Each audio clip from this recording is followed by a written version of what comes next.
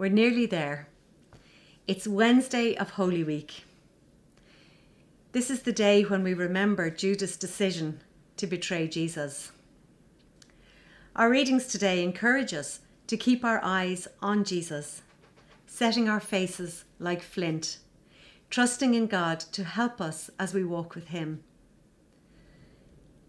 The events that we remember this week of Jesus' journey to the cross would be depressing and meaningless if it wasn't for the joy and victory of Easter Sunday when we celebrate his resurrection. But for today, we think of Jesus. We think of the fact that one of his closest disciples, one of his friends, betrayed him. Judas took his eye off the ball and betrayed Jesus for 30 pieces of silver. He had walked alongside Jesus for three years and had seen and heard all that he had done. But Jesus knew. He knew who it was, and he said to Judas, What you're about to do, do it quickly. It had to be. Jesus' eyes were fixed on the cross, and he knew what was about to happen. I want to focus our attention today on the verses from Hebrews 12, verses 1 to 3. Let me read them for us from the Passion Translation, which might be a translation not too familiar to some of us. It says this As for us, we have all of these great witnesses who encircle us like clouds. So we must let go of every wound that has pierced us and the sin we so easily fall into. Then we will be able to run life's marathon race with passion and determination. For the path has already been marked out before us. We look away from the natural realm as we fasten our gaze onto Jesus, who birthed faith within us and who leads us forward into faith's perfection. His example is this because his heart was focused on the joy of knowing that you would be his he endured the agony of the cross and conquered its humiliation, and now sits exalted at the right hand of the throne of God.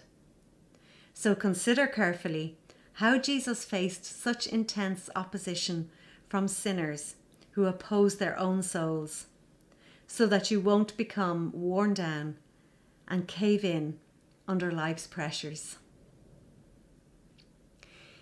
You see, there was a joy for Jesus in facing these last days, knowing the plan, knowing that he was fulfilling his purpose, and that he would rise again to break the curse of sin and death. His face was set like flint on the prize of being back in glory with God.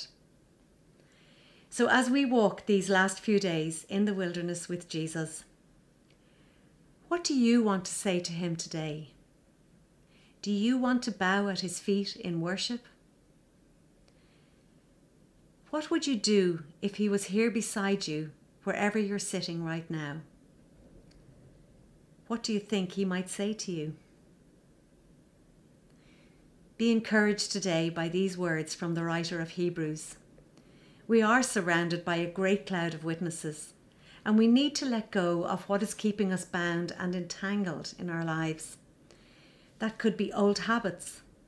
It could be long standing routines that bind us, firm, fixed opinions without being open to change. Let me encourage you today to talk to Jesus about your life and to fix your eyes on Him who leads us forward. Let's pray together. Beautiful Saviour, glorious in your righteousness we pray for the ability to be constantly faithful to you.